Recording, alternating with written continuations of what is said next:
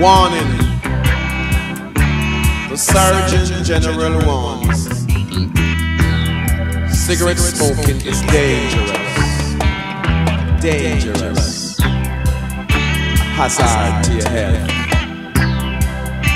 Does that mean anything to you? Them legalize Na aula anterior, definimos o coeficiente angular da reta secante PQ em relação à curva da função f em x. Portanto, a inclinação da reta secante no ângulo A define o coeficiente angular. Sendo este representado matematicamente pela relação trigonométrica tangencial do triângulo retângulo.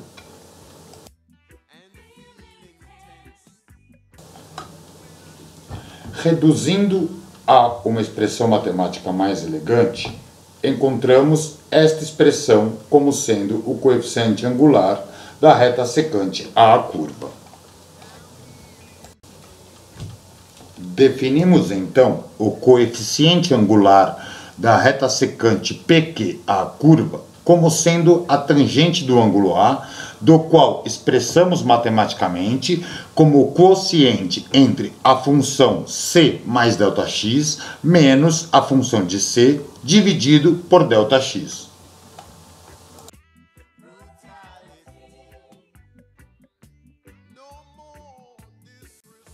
Até aqui, apenas esboçamos uma certa função. Devemos agora introduzir o recurso do cálculo diferencial nesta função. Tal recurso, o cálculo, lida com o problema das taxas de variação. De modo que o cálculo da velocidade elucida os seus conceitos mais primitivos. Assim, uma relação cartesiana do espaço em y em função do tempo em x resulta na curva da velocidade.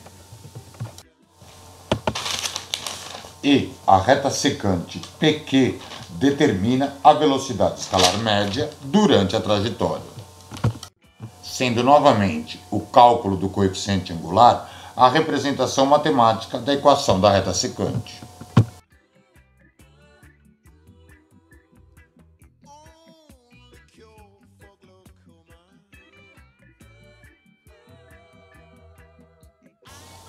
Agora, se deslocarmos a secante variável ao longo da curva com P tendendo a Q, encontraremos a reta limite da secante PQ, denominada reta tangente à curva. Esta redução nas taxas de variação implica na transformação da velocidade escalar média em velocidade instantânea. Afinal, se P tende a Q, então x0 tende a h. Logo, h tende a zero.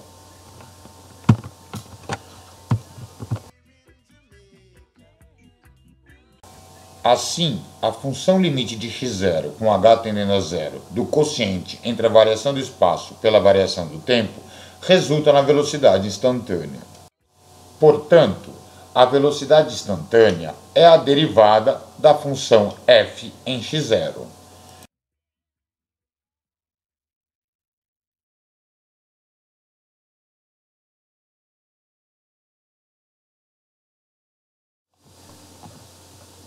Exemplo 1. Uma partícula move-se sobre o eixo x de modo que, no instante t, a posição x é dada por x igual a t quadrado, em que x é dado em metros e t em segundos. Subíndice A. Determinar as posições ocupadas pela partícula nos instantes t igual a 0, t igual a 1 e t igual a 2 segundos. Com o gráfico do problema, onde o espaço S é igual a x no eixo da ordenada e o tempo t maior que zero no eixo das abscissas, encontramos com facilidade as posições espaciais no instante t igual a zero, t igual a 1 e t igual a 2, utilizando a equação da função dada no problema x igual a t ao quadrado.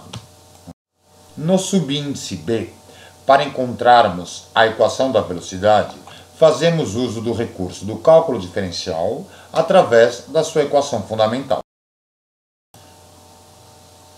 Assim como já vimos, a derivada da função de x igual a t ao quadrado é dada por f' de t igual ao limite de ΔT tendendo a zero, onde a função de t mais ΔT menos a função de t dividido por ΔT. Substituindo x igual a t ao quadrado na equação da velocidade instantânea v por t, encontramos v em função de t é igual ao limite de ΔT tendendo a zero, 2t.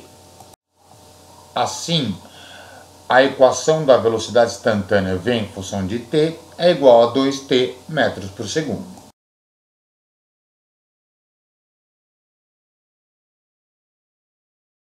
Note que, pela regra do tombo, encontramos a mesma equação diferencial para a velocidade. Portanto, no subíndice C, encontraremos a equação da aceleração utilizando a mesma regra do tombo, da qual a derivada da velocidade em função do tempo é igual à aceleração em função do tempo. Logo, a equação da aceleração em função do tempo é igual a 2 metros por segundo ao quadrado. Encerramos aqui esta aula 2 do curso de cálculo diferencial Isto é só para loucos. Até a próxima aula.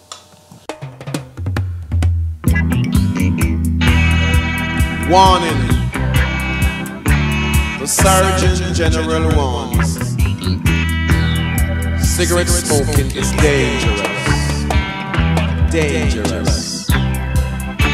Hazard to your health. Does that mean anything to you?